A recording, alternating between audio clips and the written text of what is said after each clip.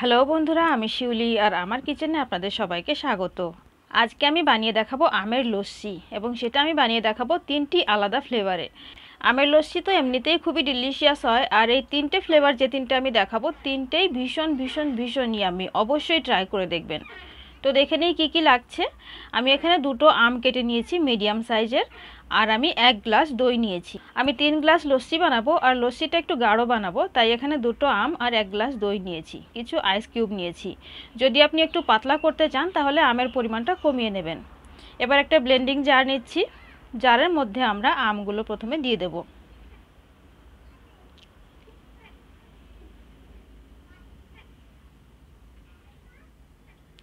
এবার আমরা দিয়ে দেব দই।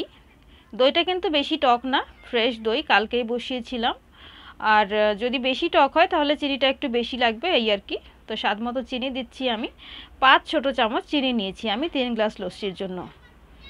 আর এবার দেব কিছু আইস কিউবস এখন বেসিক লস্যিটা বানানোর জন্য আর কিছু দেওয়ার দরকার নেই, এবার ঢাকনা লাগিয়ে মিক্সারটাকে ঘুরিয়ে নিয়ে আসব। আর এই দেখুন, আমাদের গাঢ় আমের লস্যি তৈরি হয়ে গেছে। এটা একেবারে পিওর আমের ফ্লেভারে অন্য কোনো ফ্লেভার নেই এর মধ্যে। তো একেবারে বেসিক আমের ফ্লেভারের লস্যি কিন্তু আমাদের তৈরি হয়ে গেছে। এবার চলুন তিন আলাদা আলাদা গ্লাসে করে তিনটা আলাদা আলাদা ফ্লেভার তৈরি করা যাক। তো আমি এখানে তিনটে গ্লাস নিয়েছি। প্রথম গ্লাসটা আমি পিওর ম্যাঙ্গো ফ্লেভারে বানাবো। আর এটা বানাবো আমি এলাচের ফ্লেভারে আর এটা বানাবো চাট মশলা বা জলজিরার ফ্লেভারে তো এটাকে আমি স্কিপ করছি। এটার মধ্যে আমি দিচ্ছি এলাচ পাউডার দু চিমটির মতো সবুজ এলাচের গুঁড়ো আমি দিয়ে দিলাম। আর এখানে দিচ্ছি আমি ওয়ান ফোর স্পুন কালা নামক মানে বিট লবণ আর হাফ স্পুন চাট মশলা। চাট মশলার জায়গায় আপনি জল জিরা নিতে পারেন। এবার একটুখানি লস্যির বেজ নিচ্ছি আমি, আর এটাকে গুলে নিচ্ছি মশলাটাকে। কিন্তু লস্যিটা খুব গাঢ় বলে গুলতে খুব অসুবিধা হচ্ছে, তাই আমি একটু জল দিয়ে পাতলা করে গুলে নিচ্ছি, যাতে কোনো গাঢ় না থাকে, ঘুটলি না থাকে আর কি।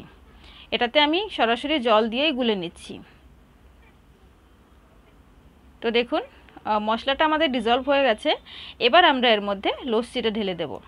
তো এটা একেবারে প্লেন পিওর ম্যাঙ্গো ফ্লেভারের লস্যি, এটাতে এক্সট্রা কোনো ফ্লেভার নেই। আর এই হচ্ছে আমাদের এলাচের ফ্লেভারের লস্যি। আর এই হচ্ছে আমাদের চাট মশলা ফ্লেভারের ম্যাঙ্গো লস্যি। তিনটেই ভীষণ ভীষণ ইয়ামি খুবই ডেলিশিয়াস অবশ্যই ট্রাই করে দেখবেন, আপনারও ভীষণ ভালো লাগবে। কথা দিচ্ছি আমি।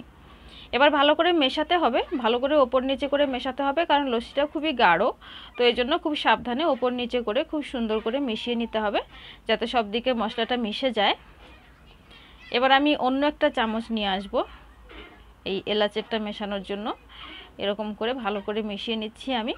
বন্ধুরা দেখলেন তো, আমের লস্যির রেসিপিটা একদম সোজা, একদম ভীষণ ভীষণ ইজি অবশ্যই ট্রাই করবেন আর এই তিনটে ফ্লেভারেই ট্রাই করে দেখবেন, তিনটেই আপনার খুব ভালো লাগবে খেতে। এবার আমি ওপর থেকে একটু গার্নিশ করব। তো গার্নিশ করার জন্য আপনি কাজু, বাদাম এই সমস্ত দিয়ে গার্নিশ করতে পারেন ছোট ছোট করে কেটে বা কিছু আম ছোট ছোট করে কেটে সেগুলো ওপর থেকে ছড়িয়ে দিতে পারেন। আর আমি এখানে দিচ্ছি টুটি ফ্রুটি তো যে কোনো কিছু দিয়েই আপনি গার্নিশ করতে পারেন। তো দেখুন, আমাদের একেবারে টেস্টি তিন ফ্লেভারের ম্যাঙ্গো লস্যি তৈরি আছে। অবশ্যই ট্রাই করুন, আর ভালো লাগলে অবশ্যই ভিডিওকে লাইক করুন, আর প্লিজ প্লিজ সাবস্ক্রাইব করুন।